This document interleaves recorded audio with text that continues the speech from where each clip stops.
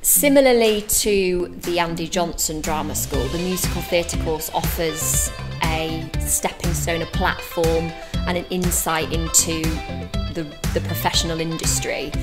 Well, they're all lovely and it's really nice. Everyone's kind of uh, got their own kind of wacky ways of thinking about stuff and putting stuff together. It's really nice to have a new perspective on musical theatre and meet people who have like done it all their lives. It's quite fun.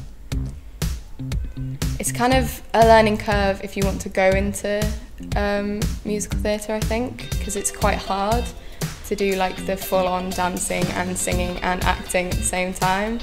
And it is a lot of kind of, in the course, it's a lot of hardcore dancing, which I've never really done a lot of before. Um, so it's quite fun to give that a try.